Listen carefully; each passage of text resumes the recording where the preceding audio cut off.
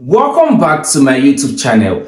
In the course of this video lesson, I'll be solving different practice questions that cut across different topics in the JUPEB chemistry exam. So let's get into this particular practice question. And also, if you're a JAMB aspirant or a post-UTME aspirant, this particular video lesson is also important for you. Now let's move further. The question says, the mass spectrum of an unknown element is displayed below. So this is the mass spectrum of that element that is unknown. Now the question says the atomic mass, this is very important, the atomic mass of the unknown element is, that means they are asking us to determine the atomic mass of that element that is unknown given the mass spectrum. So how do we solve it? It is extremely very easy. Me seeing this question right now, my mind will go back to a very introductory chemistry topic which is regarded to be called isotopy and relative atomic mass calculations. So my mind will go back to this topic called isotopy and relative arrow atomic mass calculations because that's what this question is all about and it's extremely very very easy. So before we even you know interpret the question i have to quickly write out the formula for relative atomic mass. Just watch. For relative atomic mass the formula is simply percentage 1 times m1 which is mass number 1 divided by 100 this is very very easy. I have video lessons that explains on isotopy and relative atomic mass. So make sure you do well to go check the video out okay? The link will be in the description section. That's percentage 1 times mass number 1 over 100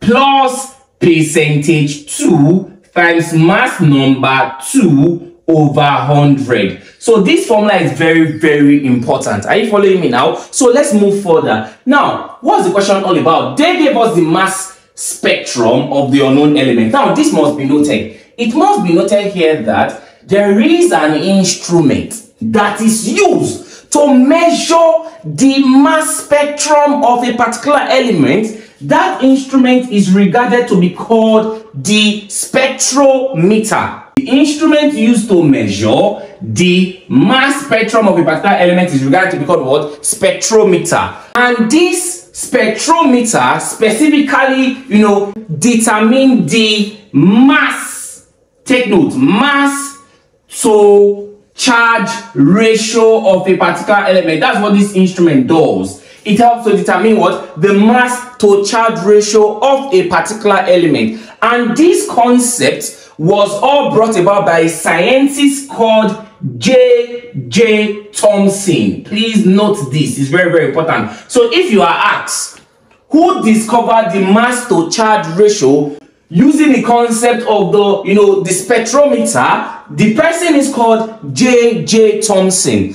Remember, J.J. Thomson was the scientist that discovered electron which is a subatomic particle. But I'm not talking about this. What I'm interested in is that this spectrometer helps to determine the mass spectrum of a particular element and also it brings and also it explains the concept of the mass to charge ratio brought by this scientist called J.J. Thomson but please take note of this I'm about saying. It must be noted here that the discovery of the mass to charge ratio of a particular element using the concept of the oil drop experiment, you simply say that the scientist is called Arrow A. Millikan.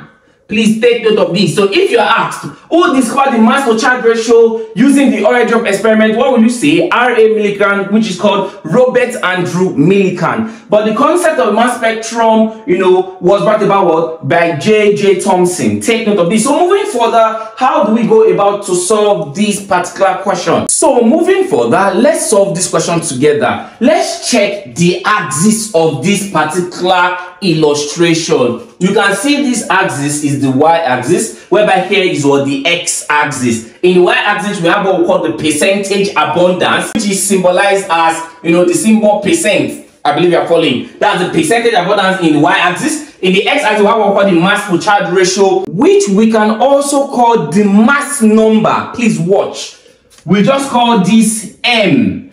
Now, it's actually very easy. Let us progress and bring out the parameters in this particular illustration so we solve the question together. So here is the first part of the graph. It relates, you know, the mass to charge ratio, which we can also relate to be called the mass number. You can see here is 70. That means the M1, I mean, I want to write it here, just follow. The M1, the mass number of the first isotope will become 70. Because I just explained that here should be the mass number. Okay, please take note of it. There should be the mass number. So here is the first mass number we saw. So here is 70. Moving further, you can see that this first part of the, the illustration, it's in line with the 70 mark for the percentage abundance. So the first percentage abundance, because all of these values are percentage abundances, is going to be 70. Are you following me? So we are done with M1 and percentage 1. If you observe the way the formula is. Do you get? So moving further, let's walk towards the second, which is M2, mass of the second isotope. Okay, and it is what 75. Relating it,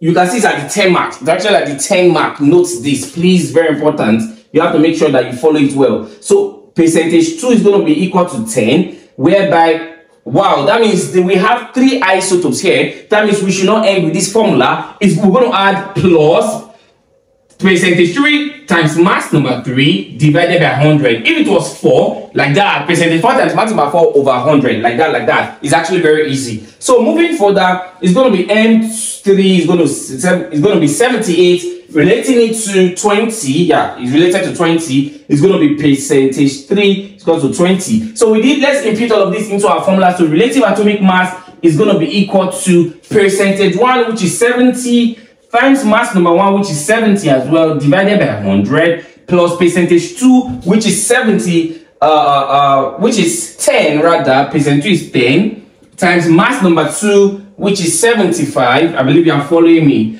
divided by 100 plus the last which is percentage 3 20 percent okay times mass number 3 which is 78 divided by 100 so what are we having as our relative atomic mass we hit everything in our calculator? Is going to be equal to 70 times 70 divided by 100 plus 10 times 75 divided by 100 plus 20 times 78 divided by 100 that is had 72.1 you know remember relative atomic mass does not have units so you're not to write any unit so i'm having 72.1 so i believe you can see that the answer to the question becomes option d because that's the closest answer 72 72.1. I believe you understand how questions under this aspect are being solved. It's actually very easy, okay? Now make sure you click on the subscribe button to my channel and also share these lessons with your friends because more video lessons like this will be out soon. Make sure you follow this channel and share with your friends. Thanks for watching.